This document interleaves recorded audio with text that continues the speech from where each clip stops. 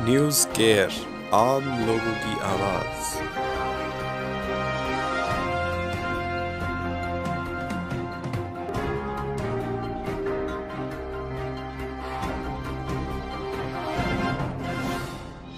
आदाब सामीन, news care का शुमारा लेकर मैं आयत खान आपकी खिदमत में हाजिर हूँ। आइए डालते हैं जम्मू कश्मीर की खबरों पर नज़र। शुमाली कश्मीर के जिला बारामूला के इलाका सोपोर में छापों के दौरान कई अफराद गिरफ़्तार। जराये के मुताबिक सोमवार और मंगल की दरमियानी रात फोर्स ने जानवर मोहल्ला सोपोर में छापों के दौरान कई अफराद को इनके घरों से गिरफ़्तार कर लिया। महकमे रोल डिपार्टमेंट की जानब कास्तीगढ़ में पंजू के लिए ट्रेनिंग प्रोग्राम मुनद पूरी में बगैर कागजात गाड़ियों के खिलाफ कार्रवाई।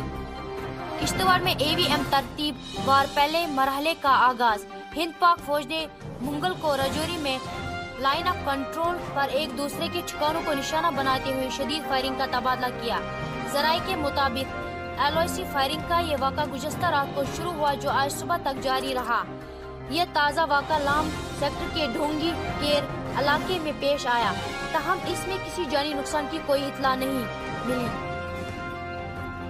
शुमाली कश्मीर के जिला बारामूला के इलाका शालकूट रफी आबाद में कम सिंह का बाई बहन की लाश मुंगल को बरामद की गई।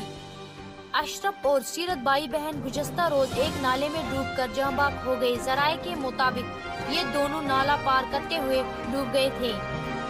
शुमाली कश्मीर के जिला बारामूला के इलाका सोपोर में एक शख्स के कब्जे से नशा आवर अद्वियात बरामद। पुलिस जराये के मुताबिक सोमवार को नाका चेकिंग के दौरान शुमाली कश्मीर के सोपोर में आमिर अकबर मीर, वल्द मोहम्मद अकबर मीर, साकने मोमकाक सोपोर नामी मंशियात फरोश की गिरफ्तारी अमल में लाकर इसके कब्जे से 50 के करीब मिक्स कॉफ और कोडिन बोतलें बरामद करके जब्त की। पुलिस ने इस सिलसिले में केस दर्ज करके तहकीकात शुरू की है।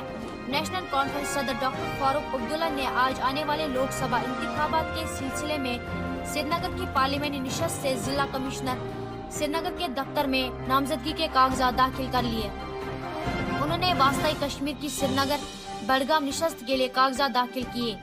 सिंध फॉरेस्ट डिवीज़न गांधरबल और हेल्प फाउंडेशन की बाहमी इश्तियाक से शजरकारी प्रोग्राम का एहतमाम। सिंध फॉरेस्ट डिवीज़न गांधरबल और हेल्प फाउंडेशन की इश्तियाक से वास्ताई कश्मीर के जिला गांधरबल के इलाका पेरंग में शजरकारी मुहिम के तहत 300 पौधों पौधे लगाए गए। दीजिए आयत खान और पूरी न्यूज़ केयर की टीम को इजाज़त। अल्लाह